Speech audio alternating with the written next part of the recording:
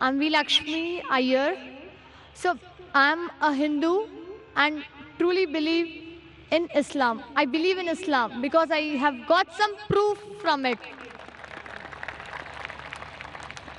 So, when you said God is one, religion is one, let me take an example of three people a Hindu, a Muslim, and a Christian.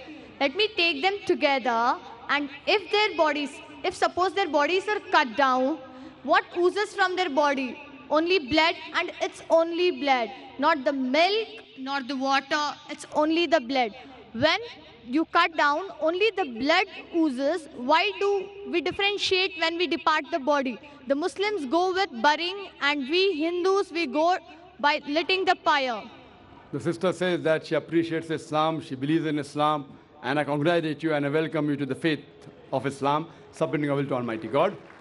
The question asked by the sisters that a Hindu, Christian, and a Muslim all have got the same body, same blood, same constituent. But when we die, why in Hinduism do we burn the body? Why in Islam do we bury? Let's analyze the pros and cons, and you decide which is better. In Hinduism, also they say you can bury the children, etc. But when you become an adult, most of the sects say you have to burn, you have to cremate. There are some sects which say uh, you have to bury. But let's analyze the pros and cons between cremation, that is burning, and burial. If we analyze, in cremation, in burning sister, there is a lot of pollution. When the body burns, a lot of pollution. In Islam, we have to bury. Why? Because today we have come to know that whatever constituents of the body is there, the earth, the soil, contains the same basic elements of the body in lesser or greater proportion. So from earth we come and to earth we return. Scientific. Comparison, point number one. In cremation, we burn the body, there is pollution. In Islam, when we bury, the land becomes fertile. There's no pollution, there's no burning. Point number two. When you burn, you chop down the trees. Greenery goes down. Environment is being uprooted.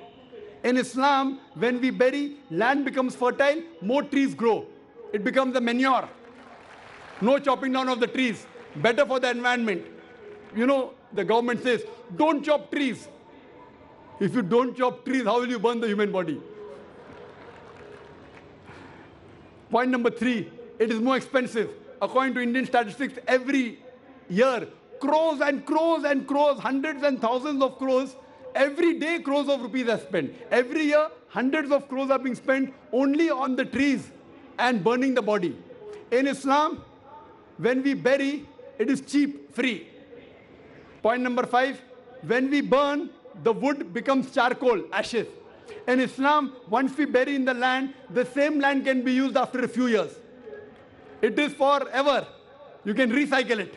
The same land, after a few years, when the bones get disintegrated, you can recycle. So logically and scientifically, if we analyze, it is more scientific, more humane, more better for burial as compared for cremation. Hope that answers the question, sister.